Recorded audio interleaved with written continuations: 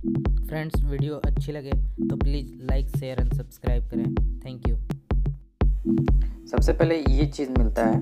ये जो होता है, ये जो माइक्रोवेव का जो, ये वाला प्लेट है, इसके लिए बेस का काम करता है। जब प्लेट घूमती है तो इसके तीन जो पहिए हैं, वो इसको प्लेट को घूमने के लिए हेल्प करते हैं। फिर ये प्लेट है। ये प्लेट को हम जो है, इस रिंग के ऊपर रखते हैं और प्लेट इस पर ऐसे घूमती है। ठीक? तो इसका उपयोग हमेशा होगा, चाहे हम माइक्रोवेव करें, चाहे हम कन्वेक्शन मोड का यूज़ करें, चाहे हम ग्रिल मोड का यूज़ करें, ये प्लेट हमेशा जो है, ये ओवन के अंदर रहेगी, ये मैं आपको बताऊँगा कैसे होगा। फिर ये जो आता है, ये छोटा सा ये यूज़ होता है स्टैंड ग्रिल के लिए, छोटा स्टैंड है, ये बड़ा थोड़ा सा ऊँचा है, ये भी ग्रिल करने के लिए यूज़ होता है। और ये जो हमारा दिख रहा है पॉट ये इस्तेमाल होता है कन्वेक्शन मोड में। जैसे आपको कन्वेक्शन मोड में कुछ उस पर बेक करना हो तो उसका यूज़ कर सकते हैं। तो बेसिक किट्स जो हैं, वो हमारे ओवन के साथ आती हैं। चलिए देख लेते हैं कि हम ओवन में कैसे ओवन का इस्तेमाल करेंगे। तो हमारा एक आई का ओवन है, जो कि 20 लीटर का है। तो इसमें देख लेते हैं कैसे इस्तेमाल करते हैं। तो सबसे पहले हम इसका पावर ऑन करेंगे। तो यहाँ पे देखिए रेड कलर का दिखाई दे रहा है। ये, यहाँ पे दिखाई दे रहा है। तो ये ऑन हो जाएगा। फिर हमको ऑन करने के बाद इसका यहाँ से डोर खोलेंगे। तो जब डोर खोलेंगे तो ये अंदर का ऐसा नज़ारा होगा। ये आपको दिखेगा यहाँ पे ये। इसी पे हमारी जो है प्लेट जो है मूव करती है। तो हम देख लेते हैं कि इस पर हम प्लेट को कैसे सेट करेंगे। सबसे पहले उसका सपोर्ट लगाते हैं। ये सपोर्ट है। इसमें तीन पहिए हैं। इसी के ऊपर प्लेट हमारा सीट करेगा। और ये रही हमारी प्लेट जैसा कि प्लेट में ये तीन ठो गड्ढे देख रहे हैं, ये दूसरी तरफ़ उभरा हुआ होता है। ये देखिए, इधर उभरा हुआ है। ये जो है, इसके खांचे में जो है, ये नीचे जो आप देख रहे हैं, ये प्लेट को घुमाने के लिए होता है। इसके खांचे में ये जाके ऐसे बैठेगा। हमने बैठा दिया। तो आप देख सकते हैं कि हमारा जो है प्लेट ये खांचे में यहाँ पे सेट हो गया है। और ये जो रिंग है, जिसमें व्हील लगा है, उसके ऊपर हमारा ये प्लेट फ्रीली मूव हो रहा है। तो मान लीजिए मुझे माइक्रोवेव कुछ करना है तो माइक्रोवेव करने के लिए जैसे एग्जांपल के तौर पर मैं एक आलू पका के दिखाता हूँ। ये आलू है, जब भी आलू इसमें आप माइक्रोवेव करें, पकाएँ तो इस प्लेट पर रख के आप पका सकते हैं। लेकिन आलू में एक आप चाकू से छेद ज़रूर कर दीजिएगा। तो मीनू पे सबसे पहले देखिए, यहाँ पे आप देख सकते हैं, ये वाह माइक्रोवेव तो जब करेंगे तो यहाँ माइक्रोवेव में यहाँ पे आपको दिखाएगा पी हाई ठीक? ये हो गया। और फिर हम यहाँ से टाइम सेट करेंगे। एक, दो, तीन, चार, पाँच। पाँच मिनट का टाइम सेट कर दिया और क्लोज कर देंगे। फिर डोर क्लोज करने के बाद हम यहाँ से नीचे से ये स्टार्ट बटन है, इसको दबाएँगे। तो जैसा कि हम देख सकते हैं, हमारा टाइमर बंद हो चुका है। तो हम देख लेते हैं हमारा आलू पक गया कि नहीं। तो ये देखिए दोस्तों, ये हमारा आलू। ये बहुत अभी गर्म है। देख सकते हैं आपको देखने से लग रहा होगा, ये पक गया है। अब हम दोस्तों बताएँगे कि जैसे जो इसके साथ हमारे स्टैंड वगैरह हैं, उसका इस्तेमाल कैसे करेंगे। तो देखिए, अगर हमें मान लीजिए ग्रिल करना है, कोई बड़ा आइटम है तो ये छोटे स्टैंड को इस प्लेट के ऊपर हम रख के ग्रिल मोड में इसका इस्तेमाल कर सकते हैं। इस पर रखी हुई चीज़ इस प्लेट पर घूमती रहेगी और वो ऊपर जब देखेंगे हमारे तो ये हीटिंग कोयल है यहाँ पे, ये हीटिंग कोयल है, ये हमारा ऑन हो जाएगा और उसकी गर्मी से इस पर ग्रिल हो जाएगा। ग्रिल अगर मान लीजिए आपका ग्रिल करने वाला आइटम छोटा आइटम है तो उसको हीटिंग कोयल से नज़दीकी रखने के लिए, नज़दीक बनाने के लिए, हम ये ऊँचे वाले स्टैंड का इस्तेमाल करते हैं। और ऐसे ही अगर हमें कुछ चीज़ों का अगर बेक करना जैसे पिज़्ज़ा वगैरह बनाना है या केक वगैरह बनाना है तो उसके लिए हम इस प्रकार के एलमिनियम के स्टैंड का यूज़ करेंगे। जैसे केक के लिए अलग टिन का आता है या एलमिनियम का बर्तन आता है ये पिज़्ज़ा वगैरह अगर बनाना है तो पिज़्ज़ा बेस को इस पर रख के प्रिपेयर करके इस पर रख के हम कन्वेक्शन मोड लगा देंगे। तो कन्वेक्शन मोड में वो जो हमारा है पिज़्ज़ा बेक हो जाएगा और स्टैंड का हम बेकिंग करने के लिए या कन्वेक्शन मोड के लिए इस स्टैंड का हम इस्तेमाल करते हैं। वो मीनू का इस्तेमाल कैसे करेंगे? तो सबसे पहले आप देख सकते हैं, यहाँ पे ये जो बटन है सबसे राइट में नीचे, इस पर लिखा हुआ है स्टॉप या रीसेट तो इस बटन का इस्तेमाल हम अपने किसी भी साइकिल, जैसे मान लीजिए कि माइक्रोवेव कर रहा हूँ तो उसको रोकने के लिए किया जाता है पॉज करने के लिए किया जाता है। एक बार दबाएँगे तो वो पॉज हो जाएगा या रुक जाएगा, और दो बार दबाएँगे तो साइकिल रुक जाएगी या रीसेट हो जाएगी। ठीक है? और ये जो बटन दिया वो जस्ट इसके बगल में, ये अगर हम कोई भी जैसे माइक्रोवेव करना चाहें बेक करना चाहें, या ग्रिल करना चाहें तो साइकिल को स्टार्ट करने के लिए यहाँ से हम स्टार्ट बटन दबाते हैं। तो जैसे दबाएँगे तो एक बार बीप की आवाज़ आएगी। ठीक? अब इसके ऊपर जो है, ये सारे मीनू है। तो सबसे पहले हम देख लेते हैं, सबसे ऊपर वाला इस पर ग्रिल लिखा हुआ है। तो इसको हम दबाएँगे तो एक ग्रिल मोड के लिए होता है।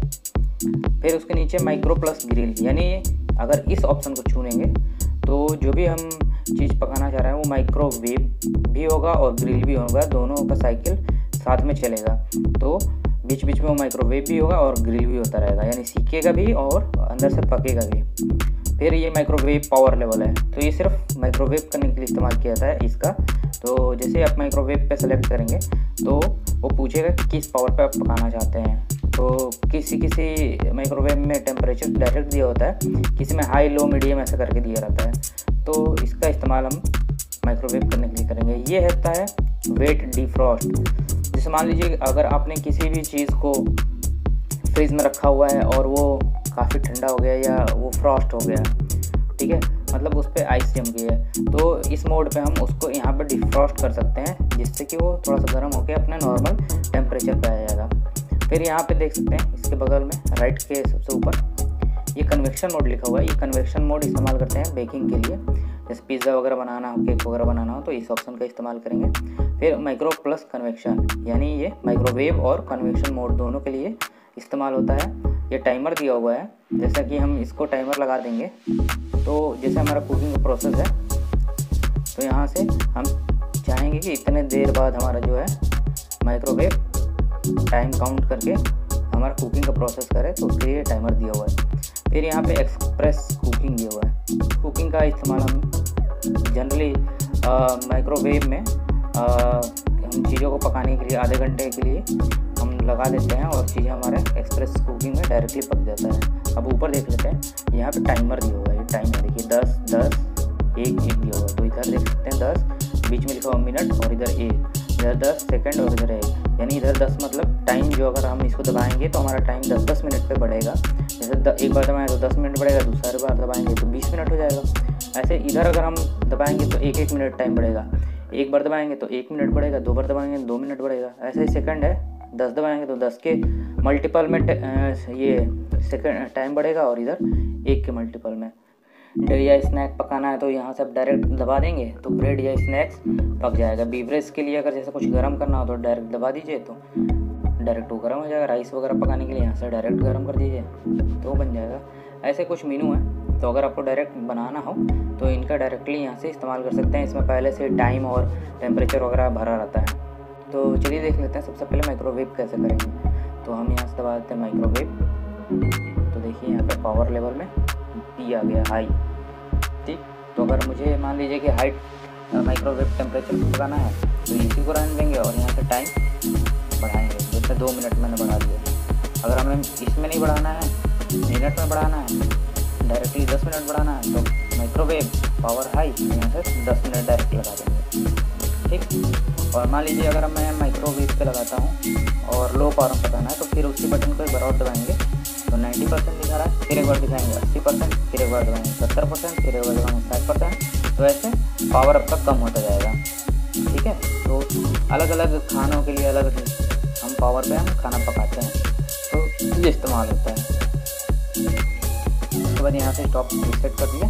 तो हमारा माइक्रोवेव का प्रोग्राम रीसेट हो गया। फिर हम देख लेते हैं ग्रिल जब हम यहाँ पे दबाएँगे तो ये ग्रिल का ऑप्शन यहाँ स्टार्ट हो जाएगा। और ये पूछेगा, कितना टाइम के लिए आपको ग्रिल करना है? तो हम यहाँ से टाइम मिनट में दे सकते हैं। एक एक मिनट में या दस मिनट में हम यहाँ से डायरेक्ट दे सकते हैं। उसके बाद यहाँ से नीचे से हम स्टार्ट बटन दबाएँगे तो हमारा जो है ग्रिलिंग स्टार्ट हो जाएगा। और यहाँ से रोक देंगे। फिर ऐसे ही हम देख लेते हैं माइक्रो प्लस ग्रिल यहाँ दबाया। तो माइक्रो प्लस ग्रिल स्टार्ट हो जाता है। माइक्रो प्लस ग्रिल लगा दिया है। तो ये पूछ रहा कॉम्बिनेशन एक। इसके कई कॉम्बिनेशन है। ये कॉम्बिनेशन दो कॉम्बिनेशन एक। तो कॉम्बिनेशन एक में मान लीजिए मुझे पकाना है तो टाइम दे देंगे। दो मिनट का। और यहाँ से स्टार्ट कर देंगे। अब देख लेते हैं। वेट डिफ्रॉस्ट ये वेट डिफ्रॉस्ट मान लीजिए मुझे किसी चीज़ को डिफ्रॉस्ट करना तो इसको दबाएँगे। कितना देना है? 700 ग्राम 800 ग्राम 900 ग्राम या एक किलोग्राम, ठीक है? तो इस पर जितने किलोग्राम का रहेगा, हम यहाँ पे भर देंगे और यहाँ से टाइमिंग दे देंगे। टाइमिंग इसमें पहले से ही रहता है डायरेक्ट स्टार्ट कर दीजिए। तो लगभग 38 मिनट का टाइम होता है। उतने में वो डिफ्रॉस्ट हो जाता है, फिर यहाँ से रोक दीजिए। फिर हम देख लेते हैं कन्वेक्शन यहाँ से कन्वेक्शन स्टार्ट होता है। कन्वेक्शन का टेम्परेचर दिखा रहा है। तो मान लीजिए हमको डेढ़ सौ पे पकाना है या दो सौ पे कन्वेक्शन करना है तो यहाँ से बार बार कन्वेक्शन वाले को दबाएँगे तो कन्वेक्शन का टेम्परेचर सेलेक्ट होगा।